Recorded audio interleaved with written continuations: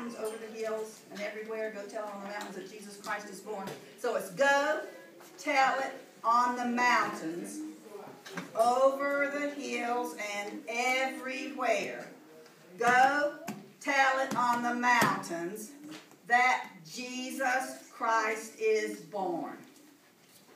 So that's pretty easy. And that's something that you can Is do. that the whole song? Oh, that's just the chorus. No, that's got like three verses to it. And in the video, the tutorial video that I watched with the motions, it has motions for all three verses. And I thought, uh-huh. in four weeks, we'll never learn it. I won't learn it. You guys probably would. All right, let's see. Here it goes.